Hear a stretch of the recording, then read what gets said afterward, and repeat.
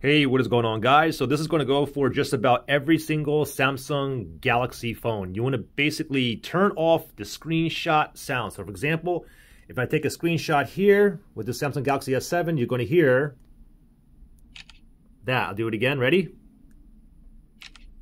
So how do you turn the screenshot sound off? It's very, very easy. It has to do with your ringtone. So if you see your volume rockers, this is a Samsung Galaxy S7 here, by the way. And to do a screenshot with this phone here is the uh, power button and the home button. But you may have a different phone, like a, a some of these newer models don't have home buttons, and it would be the volume down and power button. Anyways, you should already know how to do a screenshot on your particular phone.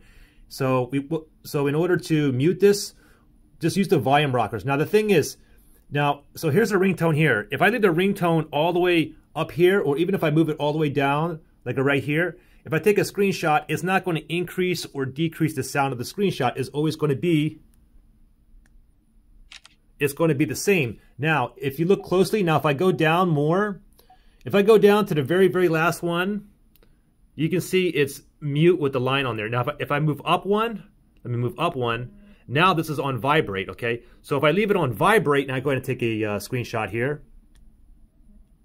I can feel it and I can hear it vibrate. I'll do it again.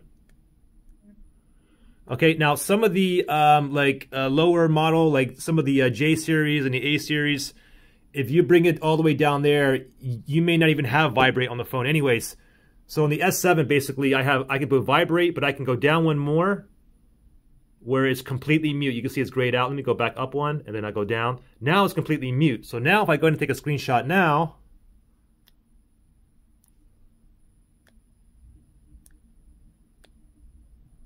now you hear absolutely nothing. It's perfectly muted.